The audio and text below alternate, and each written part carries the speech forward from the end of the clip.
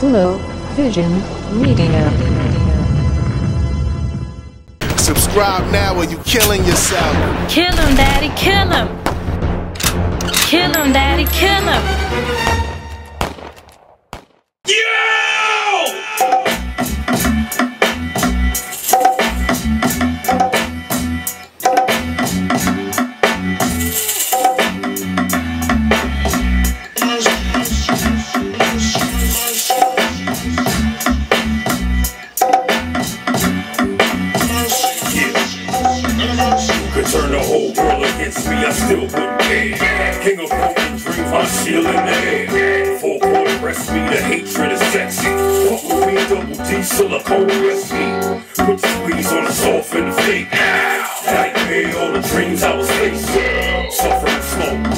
Slow, pressure crushing his bones. The world waiting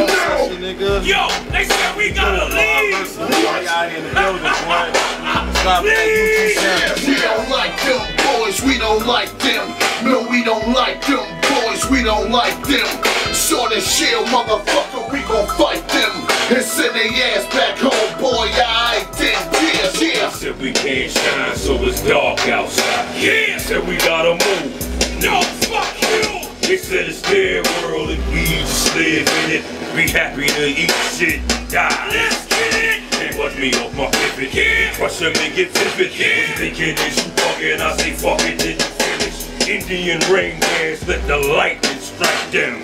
You damn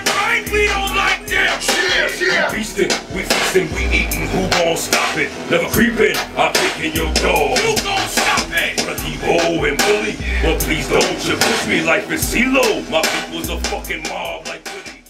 Who's that creeping in my We recording. You know, they might present you, but it is what it is.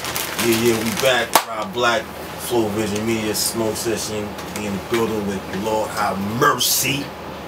Yeah. You know, we just getting into this thing on Lord Have Mercy, man. I just want to ask you some questions, man. Like, explain your style, man. you, you got a big voice under there. Uh, I mean, a little bit before you. The style is, you know, you actually with the influences were. Uh, like I said, well, I'm a kid of the golden era, a baby of the golden era. So, of course, being from New York and um, growing up listening to what we listen to, rhyming wise, Rakim, Kool G Rap, Big Daddy Kane. That's what a, lot of dudes refer to as the Holy Trinity. But then you you had also had you know elements of uh, early KRS One, which is you know street savvy dude, and he had other content, and then Public Enemy, just the theater of them having their own army, and so my favorite MCs was Rakim, KR, Rakim, Kane, Kool G Rap, for the mechanics of rhyming, and then uh, Chuck D and, and uh, One because they just had like that regular dude look to them, and you could see them going to the store, but then they would have just powerful shit to say. There will never really be justice on stolen land. Right, right. You know what I'm saying?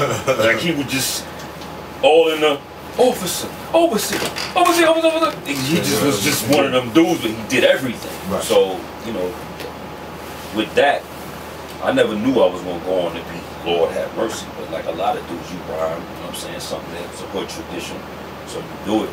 But as I started to move into it, I always, you know, I can see now that I look at some of my old demos and how I do things. It's always that responsibility to, to give my version of what you know, information type rhyme. So I just make sure that what I do, man, can kind of go everywhere. You know what I'm saying? I don't, I don't make it where, you know, my style is supposed to be able to. If you could run on the radio, then I could run on the radio after. If you could run into a cipher, then I'm gonna be able to run on the cipher after. Like when y'all see the, know what I'm saying? I did the freestyle for y'all. Right. That's just bars. Right, that right. ain't fire, straight fire. you know what I'm saying? That- That's not that's not, you know, put me anywhere else. But that's why I came up. I learned to rhyme first. Then when I started making little songs, I'm like, okay, well, okay, this could be the chorus. And then I, Okay. you know, You started working on your style. then as you yeah, but your style I think it also naturally developed because then it started to be other things that I wanted to do that wasn't them. Mm-hmm. So to really go into your question, when I got to a point where I started to be like, all right, I can do this. I picked eight people. I got an eight man council. So when I would make a record, I would play it in my head. And I would play it for these eight people. So my five MCs, Rakim, Kane, Kool G Rap, KRS-One, Chuck D, they would sit at the table. And then Bob Marley would sit at the table. Jimi Hendrix would sit at the table. Kurt Cobain would sit at the table. Rakim, Kool G Rap, Big Daddy Kane, they checking rhyme mechanics. Yeah, you went from this word to that word like this. Cool. KRS One, Chuck D, they checking my rebellion. Am I gonna say some shit that's gonna buck the system a certain way? Uh, okay. Mm-hmm. Bob Marley's gonna make sure that my rebellion is clean. I just know, being from Jamaica, I just know how Rasta dudes are. Like they don't, they not. When they buck against something, it's not with a bunch of resentment and hate towards somebody. They still want to be on a love vibe, but you know, they just, you know, down with Babylon and that type of thing. Uh, Jimi Hendrix would push the sonic part of me. Like I would pick something different to rhyme on, and dudes would be like, "How you gonna rhyme on that shit?" Mm. 'Cause the story of Jimi Hendrix is that after he was putting out records, he would um he built Electric Lady, which is down in the village, and he built it so he could just sit in a spot and just play around with sounds until he found something that he wanted. So when I heard that, shit, I was like, "Bro, like sonically, I always wanted to do some some different things." You know what I'm saying? And then Kurt Cobain is just a dude who became this mega dude and made songs just about the most painful shit because and when I really started to first like him, I found out that when NWA album came out, he couldn't stop playing. So I'm thinking, this white boy from Seattle played NWA all day, every day, and didn't listen to anything else when that shit came out. That's what made me lean into his work and be like, okay. It kind of brought me to a space where pain is pain. It sounds different. It might, you know, look different. He got purple hair. Mm. But if- for you to sit there and listen to Ice Cube back then, when he had black people, like, what is he doing? Hmm, NWA hmm. sounded yeah, like, right. dude, other people cursed in hip hop before them, but they just did something where you Yeah, was they like, like, like come on, dog. yeah, they was out with it. They, it was just you know, fuck the police. They, yeah, they ain't coming at me. yeah. But it's That- just the shit that they was talking about. Even when, even when, when Q got on the solo shit, he was talking about kicking pregnant bitches in the belly and yeah, shit like yeah, that. I'm like, yeah. this nigga's Yeah, crazy. Yeah. So my style, you know, it, it comes from all of the, the musical influences I like. You know what I'm saying? Where I, I definitely felt like I could pull those things off, or the things I like about these people, I would want to hear it in my music too. You know what I'm saying? When you get Lord have mercy, where's that name come from? Where's that name stuff from? Well, before I was Lord have mercy, I went when I officially was officially running around in the uh, open mic circuit, which was Lyricist Lounge. I had another name. Um, and I was always going from my life or whatever. So at that time, I was feeling like I was moving through my life like a, like a Terminator. You know what I'm saying? Where it doesn't have feelings, but it has to go through emotions. So my name back then was uh, Rugged Raw Moore, M-O-R-E, Morbid Origin, Robotic Enigmas. That was my name back then. So that's what they were saying. I was Optimus Prime. Yo, the Optimus Prime. Roll out. that type of shit. So, um, you know, my first introduction to this business Okay. on a large scale, a group at the time that was popping. A dude uh, carrying bags for them, they rode roadie. And they was playing my demo all through the airport, whatever. And this dude was always there. So he was like, yo man, I love that dude. He's ill. I want to work with him one day. And I was like, yeah, yeah, yeah. Happens to be, long story short, he gets a deal before I get a deal. He happens to have one of the biggest records of the 1990s. If I say his name, I'm doing him a favor. I'm not doing him a favor. But basically, if you go through M O R E, you kind of pick where it's at. He just happened to be the the the, the lead off of one of the biggest movements in, in young black history, and young black music, and, and things of that nature. But so I'm in a place where I want to change my name now. So I started playing around with certain names, and I'm like, okay, I, I need to crush my last name. So it was Lord Have Mercy More. I was still kind of holding on to it. But when dudes found out that I was going to be Lord Have Mercy, they stopped fucking with more. They stopped calling me all that shit. It was just Lord Have Mercy. I'm like, dude, I can't take that name. You can't call yourself that shit. Hmm. I said, the dude with that name would have to be some other shit. Hmm. Yo, dude, you are some other shit, son. You don't rhyme like nobody else. You don't sound like nobody else. Shit, you be talking. You, you sound like you on top of a mountain rhyming the dudes, man. So you need that need to be yours. So I'm like, if I'm gonna take the name, or if I'm gonna take that shit on, I need to make sure that there's a science behind it. Because we also come from a time when you had to have science behind the shit. I'm the old dirty bastard. Mm.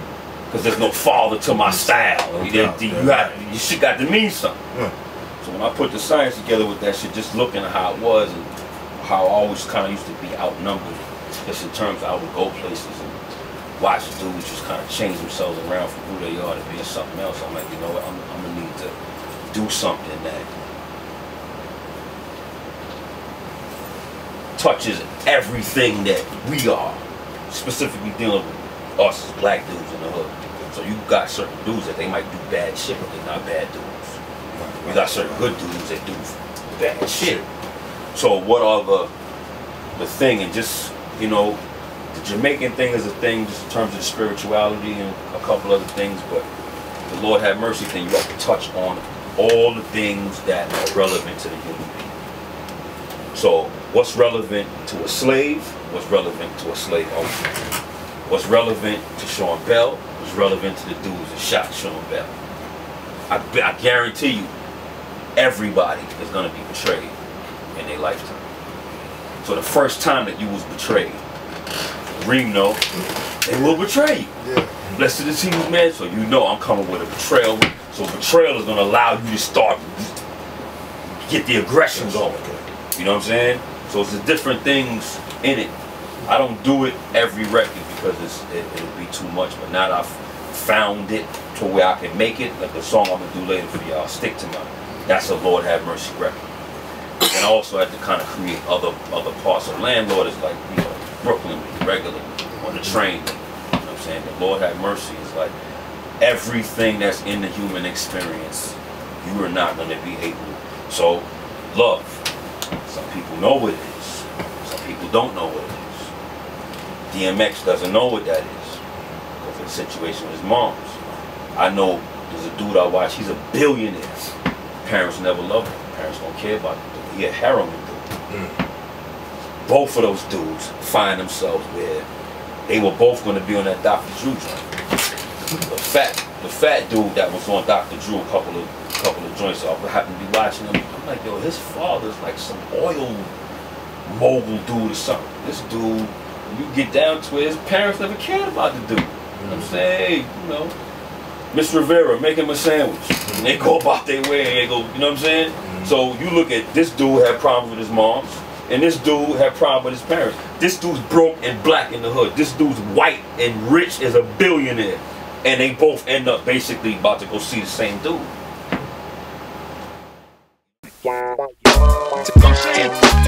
That's why I like this shit no more, man. These niggas from I'm from, you know what I'm saying?